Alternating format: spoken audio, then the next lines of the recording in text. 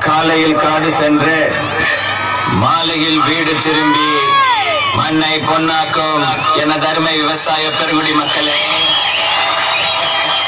வீட்டுல படிக்கிறேன் போய் சொல்லிட்டு வந்திருக்கும் சிறுசுங்களே எப்ப வேணாலும் போயிடுவோம் போல இருக்கும் பெருசுங்களே.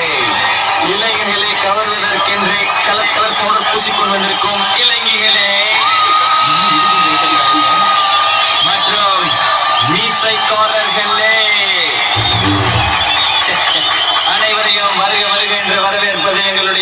எங்களுடைய வாலிபர் சங்கம் செல்லுக்கு போர்பட்டி கூட்டம் வெட்ட வெளியாட்டம் பல்லே பல்ல பட்டு போட்டோம் சுத்தி மேகமூட்டம் லீவு விட்ட ஓட்டம் சாலை சேவை தோட்டம் குட்டி